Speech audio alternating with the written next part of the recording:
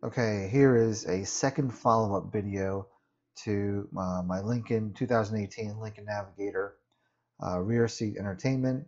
When I posted the first video, a lot of people came back with questions and uh, I try to answer as many of them as I could in this video. Uh, for the purpose of this video, I wanted to uh, check out the multicast, the Lincoln Play app, as well as trying to hook up a Roku stick to the uh, HDMI port. So go through the menus, go to Wi-Fi, and uh, here there's an SSID name and a password. Click on show password and it comes up and I play around with it a little bit here to try to come up with a different password, something shorter, easy to remember, and um, it just kept reverting back to a long, complex password. So whatever, for the purposes of uh, this demonstration, uh, we'll keep it as it is.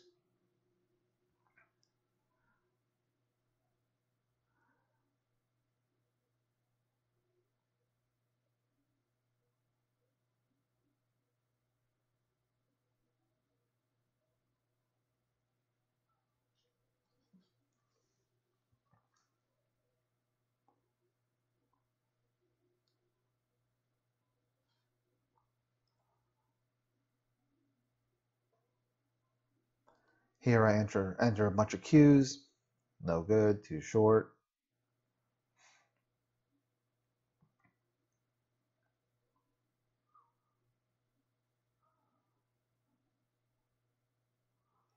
Still more experimenting. So I got to tell you, I was pretty disappointed in this entire smart stream multicast system. Uh, didn't have very high expectations, but one of the things I was hopeful for was that from my phone I could uh, stream Netflix or something to the screen. So if my kids wanted to watch the latest movie, wherever it was, they can access it from my phone using my phone's data plan, and uh, I could smart stream or multicast, whatever you want to call it, to these screens. When I Bought the car, I asked the dealer if that was possible. He told me it was only content that lives on your phone. So not content you're streaming to your phone, from your phone. It's content that actually lives on your phone.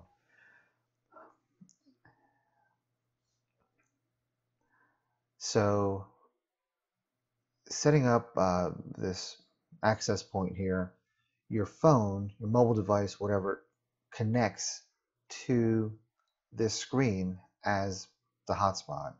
So your cellular data is essentially ineffective because your phone thinks that this is the Wi-Fi. And this becomes a problem I found out later because every time you get in the car, your phone connects to this as a hotspot. It thinks there's internet, and there isn't. So when you're trying to do GPS or email or whatever, uh, it says no internet connection. This is a iPhone X, 10, whatever. So here the screen's ready for my device to connect to it. And hopefully the screenshot comes up here. Sorry I made this video um, earlier and I'm recording the sound now since sound just didn't come out too well.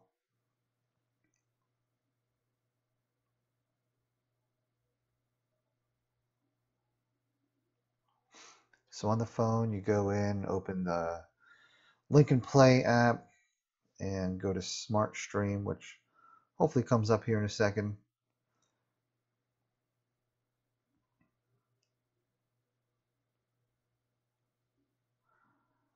So on your phone, it says Wi-Fi is not connected.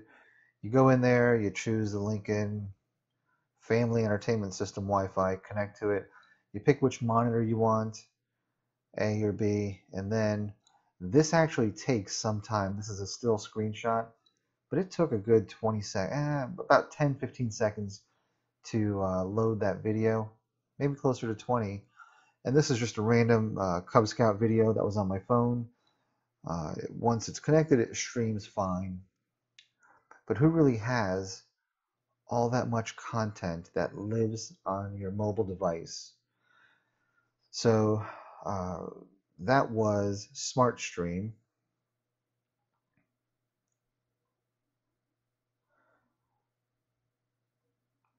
And Miracast, it states it's from monitor, monitor to mobile device. Um, I went into Miracast, sorry, Multicast, and um, essentially kind of did the same thing. So it took content from my phone and threw it on the screen.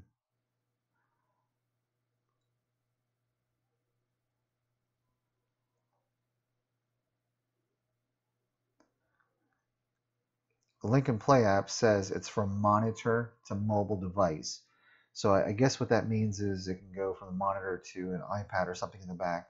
So here I hook up uh, a Roku, and, sorry, yeah, Roku, and um, says HDMI is not connected. There it goes. Now you can hide the wire. You can get a flexible HDMI cord and tape it all behind the screen if it's going to be permanently installed. Uh, I wanted to make sure that the USB also provides enough power for that Roku stick where you don't have to plug it into the 110 and it was adequate. So here, streaming Netflix.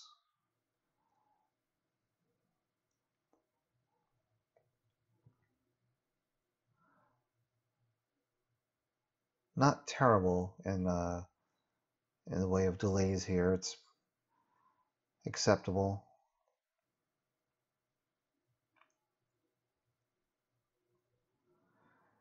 This is actually using my home Wi-Fi. Not a great signal uh, in the garage, but this would work very similar to if you're using your Lincoln enabled Wi-Fi or if you have a hotspot on your device. So you can see Netflix actually works pretty good. I've done some YouTube videos. They work fine. So if you don't want to load a bunch of movies onto a USB stick or an SD card, plug in one of these streaming sticks. Just have a uh, internet hotspot available, or sign up for Lincoln's uh, AT&T plan, and this will work fine.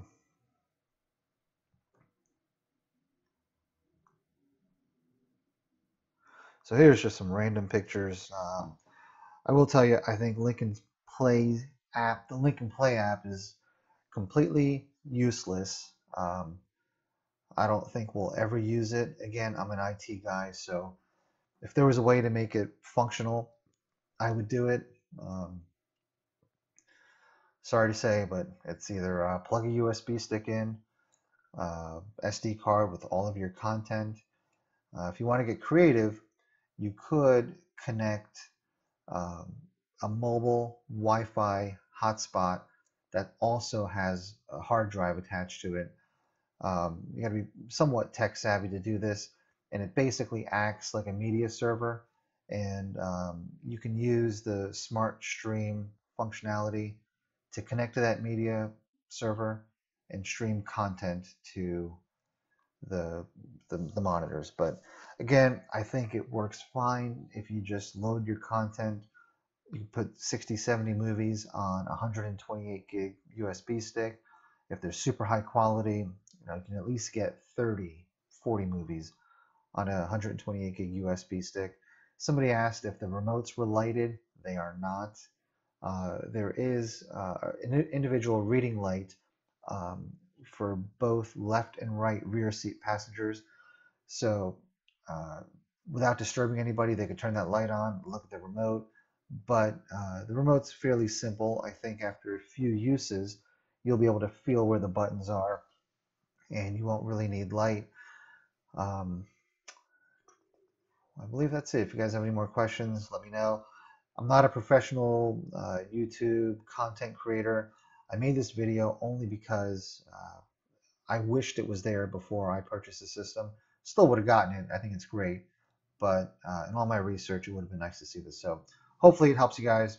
Cheers.